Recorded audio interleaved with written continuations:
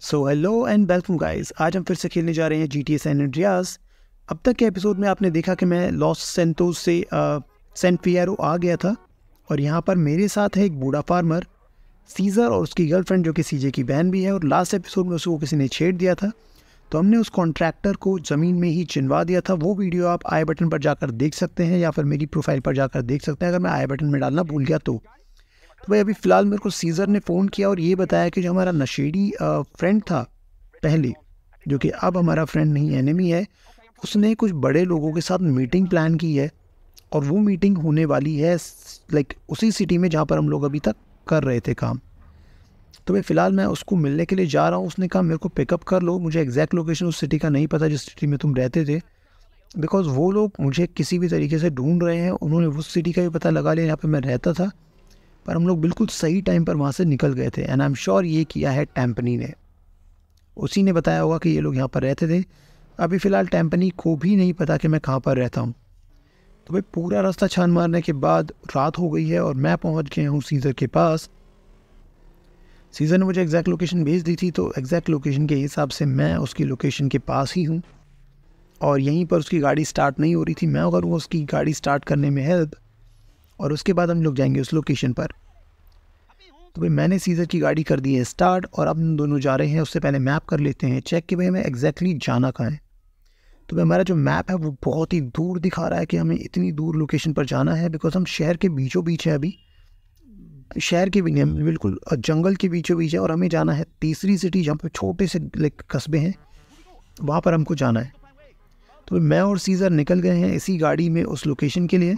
और वहाँ पर जाकर देखते हैं कि नशेड़ी का आजकल का प्लान चल क्या रहा है और वो किस, किन लोगों के साथ उठ बैठ रहा है।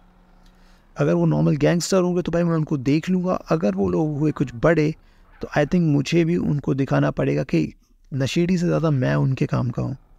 तो भाई लोकेशन हम लोग पहुँच चुके हैं मैप में मैंने कर लिया है चेक यहाँ से हम उतर गए हैं और ये रही वो लोकेशन तो बहुत बड़ी कोई जगह नहीं है बट एक छोटा सा कैफ़े उसने पूरा बुक किया हुआ है, वहाँ पर तीन चार ही लोग होंगे। बस हमें ये देखना है कि वो मिलने आ कौन रहा है।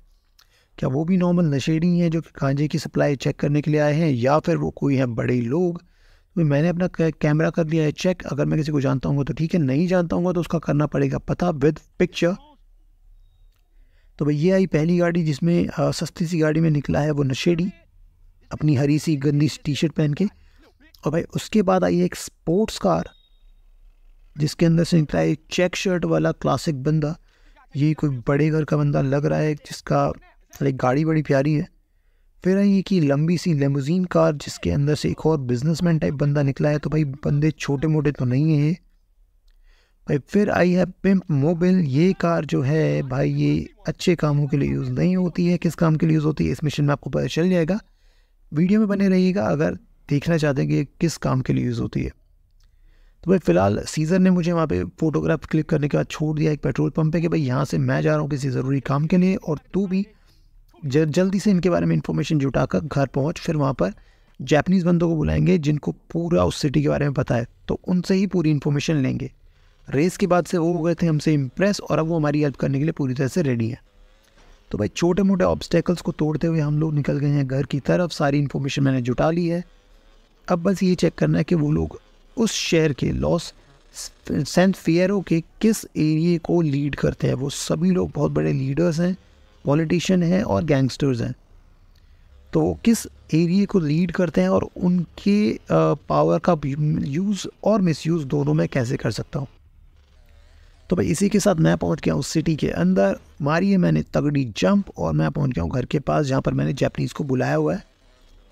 और जैपनीज़ उसके पास पहुँचने के बाद हम लोग पूरा पता करेंगे कि हमने हमें आगे करना क्या है।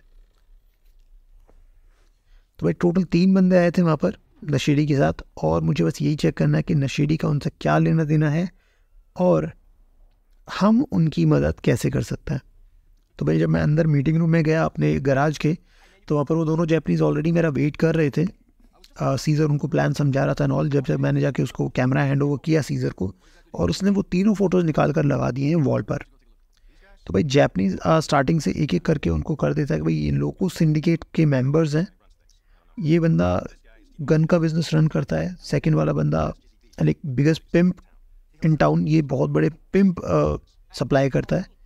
पिम्प क्या होता है मैं बताऊँगा इस मिशन के बाद? इस मिशन के बीच में सॉरी तो भाई ये कहते हैं कि तू जाके जी बी से मिल ले। जी बी जो है बंदा वो क्लब रन करता है और क्लब में उसका पिम्प का बिज़नेस पिम्प के बिज़नेस को चेक करने के लिए तुझे एक बार जाना पड़ेगा और उसके बाद जब तू एक बार वो बिज़नेस चेक कर लेगा ना, उसके बाद तू कहेगा कि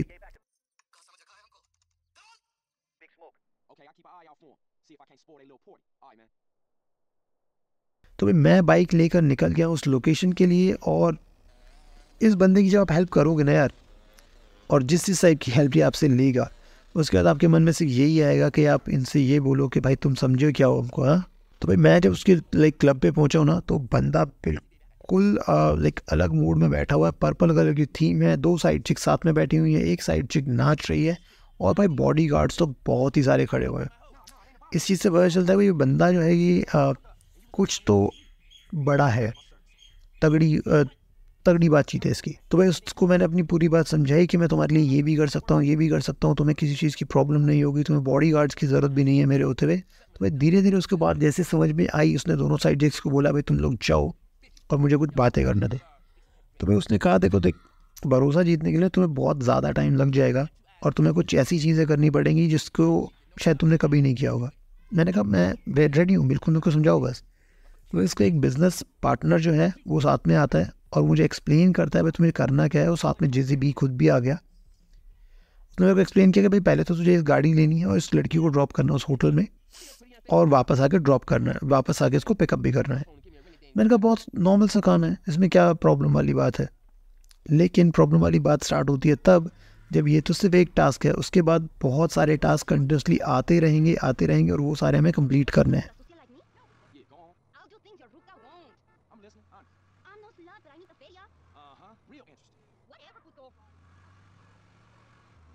तो भाई एक रंगीला रंगीला होटल करके यहाँ पर अवेलेबल है। नेक्स्ट वाले कट से हम लोग नहीं आगे वाले कट से हम लोग राइट लेंगे तो पहुँच जाएँगे। होटल का नाम है होटल रंगीला और भाई मैंने मैं, मैंने मैप में देख देख लिया लोकेशन थोड़ा सा ज़्यादा आगे जाके हमें राइट साइड में मुड़ना है और वो लाइक लोकेशन आ जाएगी। यहाँ से हम लेंगे राइट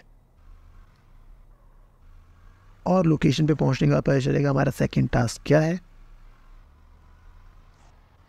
बस हमें यहाँ से थोड़ा सा राइट लेना और हम लोकेशन पर पहुँच चुके हैं।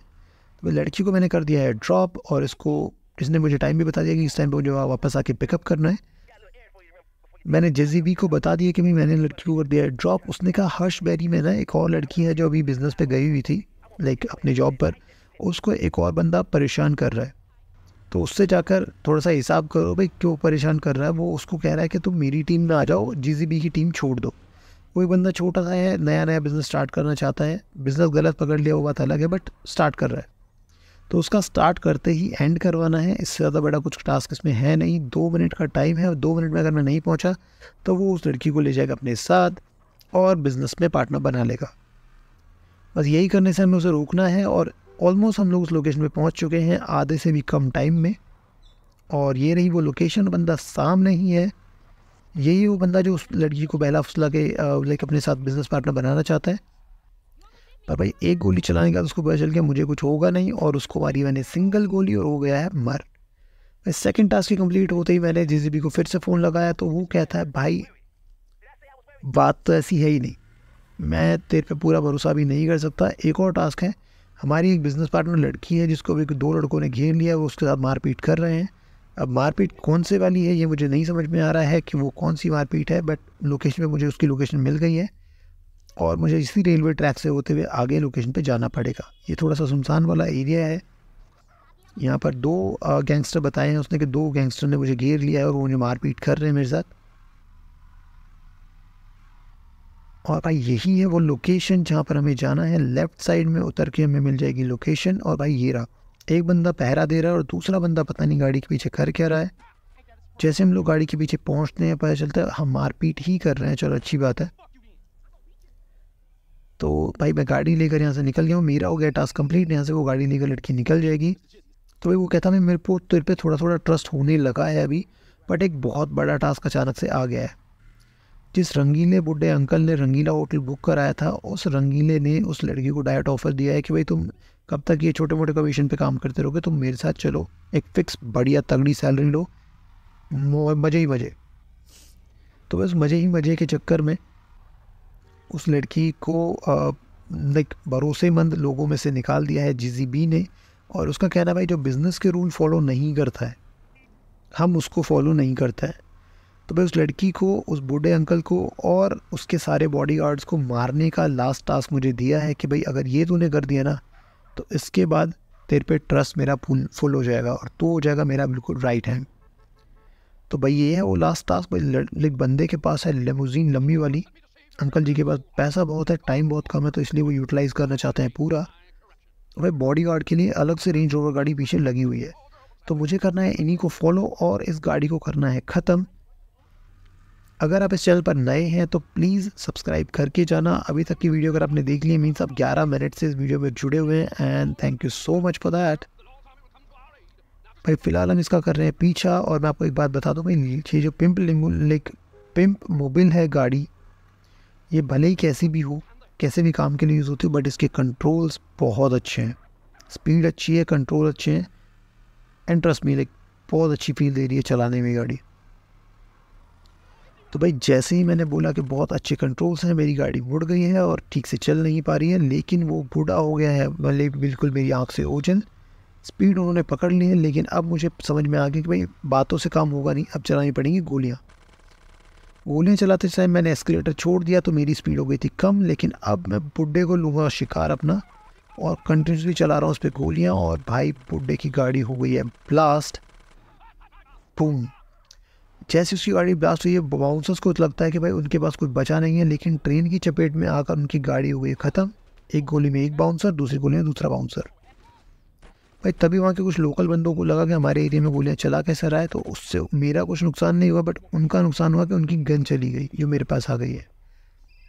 तो इस गाड़ी को लेकर मैंने कहा, जी जी बी को फ़ोन कि भाई मेरा हो गया, सारे टास्क कंप्लीट वो कहता भाई, आज से तू मेरा सबसे भरोसेमंद आदमी है, और सारे काम में तो ये दूँगा तो हमेशा लोकेशन पे आ जाना मींस अड्डे पे आ जाना और अपना काम लेते जाना। तो भाई मैंने उसका काम कंप्लीट किया, उसने कहा, इस गाड़ी को डिस्कार्ड कर दो बिकॉज़ अभी पुलिस की नज़र में आ चुकी है और अब इस गाड़ी का कोई काम नहीं है। बस इस गाड़ी को लेकर हमें कैसे भी करके अपनी लोकेशन पे जाना है गेम को सेव करना है और हम हो जाएँगे पुलिस से सेव तो अभी फ़िलहाल हम चलते हैं सेव करने की तरफ़, जो कि हम कर ही लेंगे। तो भाई अगर आपको वीडियो पसंद आई है तो वीडियो को लाइक कर देना। और चैनल को सब्सक्राइब तो कर ही देना, क्योंकि सब्सक्राइबर बहुत कम है। आपको ऑलरेडी बहुत बार बता चुका हूँ मैं। भाई, यहाँ से कूदने के बाद गाड़ी हो जाएगी ब्लास्ट तो गाड़ी डिस्कार्ड करने का काम भी कंप्लीट हो जाएगा हमारा। और यहाँ से नियरेस्ट कोई भी गाड़ी या बाइक लेकर हम लोग निकल जाते हैं। भाई, लेकिन जैसे ही मैं उतरा हूँ, पुलिस वाले ने मुझे देख लिया और मेरी पावर बहुत कम है।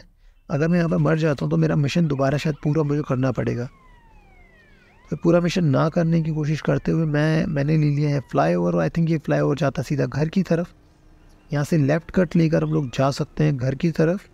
और भाई फिर से वही तगड़ा जंप इसको रिपेयर कराएँगे तो होगा क्या?